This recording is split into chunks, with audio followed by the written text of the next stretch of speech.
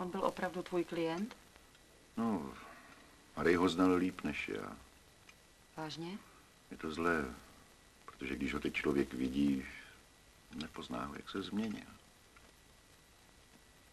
Hm? Nechutná? Hmm, je to moc dobré. V servisu mají nového mechanika. Kam se poděl ten malý Já nevím, myslím, že dostal místo ve skouky.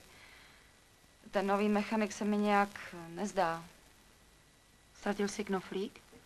Nech mi tu košili v koupelně. Ta dívka z ústavu, co uměla malovat, ta byla ze zkouky, že? No. Hm. Jak se jmenovala? Karen. Sharon? Keren, Karen. Konráde, mám tě v klubu přihlásit na golfový turnaj. když já jsem už přes rok nehrál. A neměl bys začít znovu?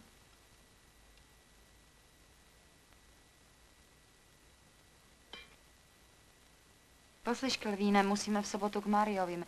Clark má narozeniny. Koupila jsem mu francouzské víno. Pro boha zase tím, Mario.